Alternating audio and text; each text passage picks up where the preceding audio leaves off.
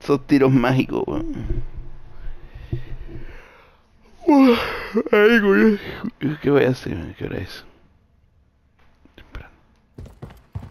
Dormí una...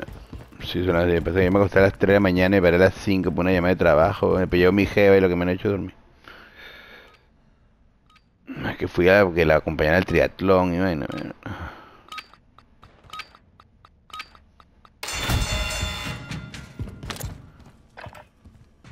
Sueño, papá. Esta como que no la ha agarrado nadie.